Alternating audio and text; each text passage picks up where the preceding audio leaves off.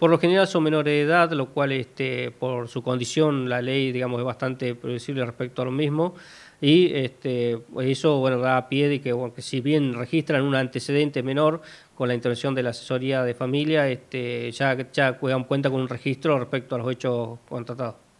digamos, al chico se lo detiene, pero se lo demora, pero hay que devolvérselo a los padres o a los tutores. Sí, por supuesto, sí, por supuesto. Es así, este, la, digamos, la ley 10 eh, respecto al mismo eh, hay que demorarlo y, bueno, por supuesto, entregárselo a sus progenitores previo a haber efectuado las diligencias de rigor pero no obstante ello la dependencia queda un registro de menor en la cual este, se asientan el ingreso de todo menor que, que que, que accede a la dependencia policial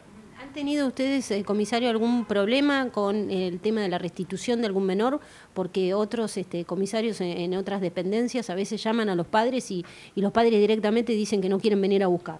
Sí, por lo general hemos tenido serios, serios inconvenientes respecto a la restitución de los menores, más que nada a los menores que son residentes en hechos de, estas características, eh, eh, dando motivo a que bueno que son trasladados al hogar de menores o en su defecto al, COSE, hasta digamos que se procede la citación en fiscalía, que bueno, ahí hay una intimación de pacto a la parte de la justicia para eh, que los mismos padres se hagan cargo de dichos menores.